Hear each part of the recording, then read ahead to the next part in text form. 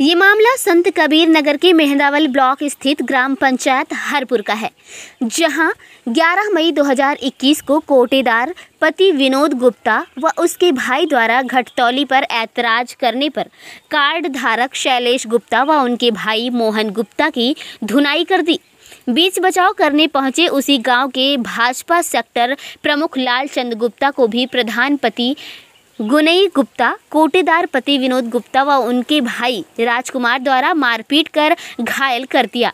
और उल्टे ही मेहंदावल पुलिस द्वारा सेक्टर प्रमुख लालचंद गुप्ता के विरुद्ध कुल नौ लोगों पर प्रधानी चुनाव की रंजिश दिखाकर एक सौ सैंतालीस, चार सौ बावन, तीन सौ तेईस, पाँच सौ चार, पाँच सौ छः धारा लगा दिया गया।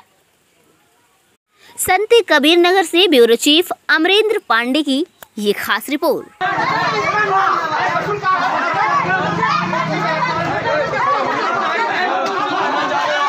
我要了。